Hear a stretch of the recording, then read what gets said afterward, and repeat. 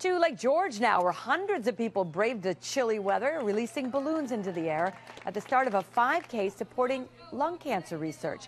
This was coordinated by the organization Free to Breathe, which hopes to double the amount of lung cancer survivors by the year 2022.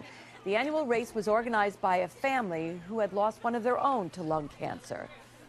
It's important that we have this awareness, and each year it has grown. So, you know, we have the, the, goal of doing what we can do and raising as much money as we can in order to help fight this disease.